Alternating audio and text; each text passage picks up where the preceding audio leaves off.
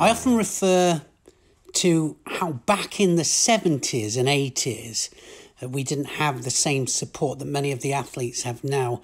And I think on reflection, that I was talking more about the financial support than anything else, because without a doubt, there certainly wasn't as much money available for potential athletes to tap into. And we relied on things like Sports Aid Foundation grants, which were very minimal, but much appreciated. I mean, any help to finance our dreams was really, really appreciated. But it wasn't a wage, it was nowhere near. Uh, and uh, at 16 years of age, when I went to London to train, um, because that's where all the top fighters in the UK were, either at the Renshuden or the Budokwai, um, that's where most of the Olympic teams were training.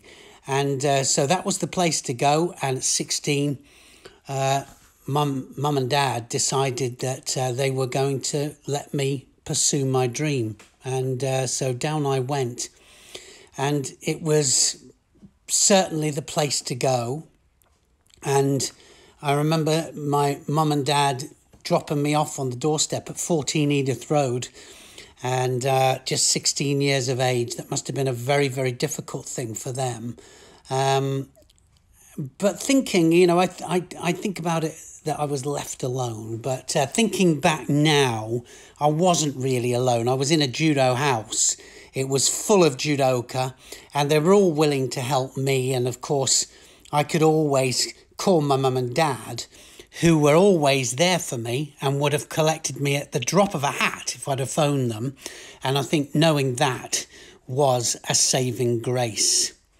Uh, but it was hard financially, and I relied on small jobs and an incredibly kind landlord, dear Mike Gross, who became such a dear friend of mine, who sometimes let me off rent and sometimes he'd put things into my fridge. And um, yeah, he helped me so much, and I'll never forget his help. He helped me survive the early days, you could say. Uh, but what I was realizing was that judo family was wide and looked out for each other. And of course, we know that now. We've got such, we always talk about the judo family, don't we? And how incredible they are. We can go anywhere all over the world and we can see somebody stay at their house. We can eat with them and we know people everywhere. And, uh, you know, it's a, a, a big world and lots of judo friends out there.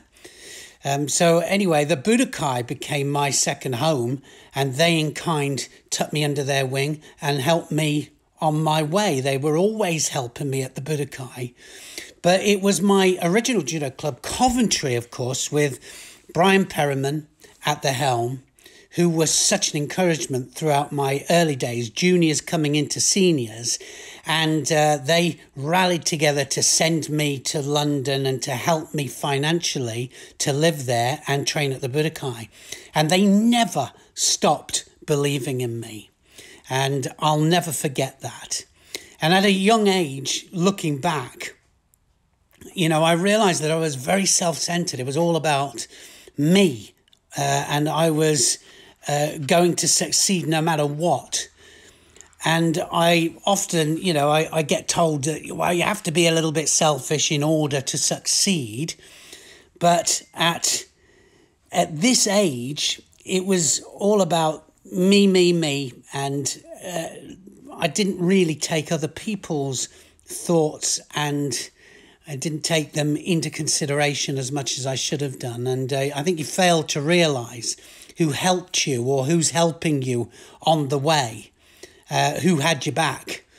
And um, well, it enabled me, of course, to find my direction. My, my very first coach, who was my dad, was such an influence on my life and my career. And he guided me all the way through my junior days and he laid a solid foundation for what was to come. But I think uh, Many of the early life lessons were from him, and they're what I carry with me today. My philosophies of life, you could say. But um, in the end, of course, judo wise, he knew that he needed to pass me on to others. uh, with my dad, it was all about progression, not possession. And he passed uh, the mantle on to other coaches who he thought would take me further. He realized that I had another level to go to. And so he encouraged that. And of course, I had other great influences from the coaching side of things, not just judo, but uh, from the physical side. I had amazing advice and direction on the physical training side. And I learnt so much and operated and still do operate many of the training processes up to present day. Uh, and I was really given a, a, solid foundation for all of my physical preparation that um, seems to have lasted a lifetime so far, anyway.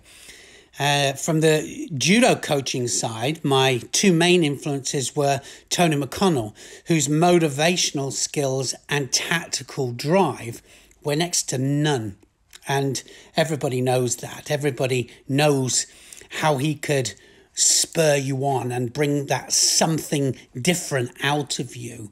And of course, Colin McIver, whose calmer approach um, helped me to assess my judo and develop it further in a different way. Uh, looking back, uh, both had big influences on me and um, became uh, dear friends of mine, of course, as well. Um, when it came to sponsorship, my first sponsor um, came a little bit later when Arnold Humphreys, um, who was a friend of Tony McConnell's, um, his company, and it was Dunn Engineering, if I remember rightly, loaned me my first ever vehicle. It was always breaking down, but it was a vehicle to get me from A to B, uh, or almost. And he paid me regular money as well. And I know that I never thanked him enough for his help. But his help made my life so much easier. And looking back, um, I realize uh, just how much help he gave, gave me and um, how how much I appreciate it now. And, um, you know, uh, sometimes words are not enough. Uh, looking back at my competition days, I didn't realize just how important my family and friends were to the whole process all the way through. I mean, through the whole junior days, my competition days, and now, of course, uh, present day. But uh, I think that when you're uh, a bit of an ass, when I was younger, I tended to think I was a bit of an ass and so into what I was doing. And it's difficult then to understand what others are doing for you and how they're helping you. And sometimes it's um, it can appear rude or that you don't appreciate it. And uh, well, how, how does that saying go? It's difficult to read the label sometimes when you're inside the bottle. Um, but now, of course, totally different. I mean, it's a totally different thing now. My responsibilities after competition uh, uh, are so different. I have children, just about to become a, a granddad as well. My best friend in the whole world, my wife Nikki, who whose love and support, uh, and my kids as well, um, every step of the way.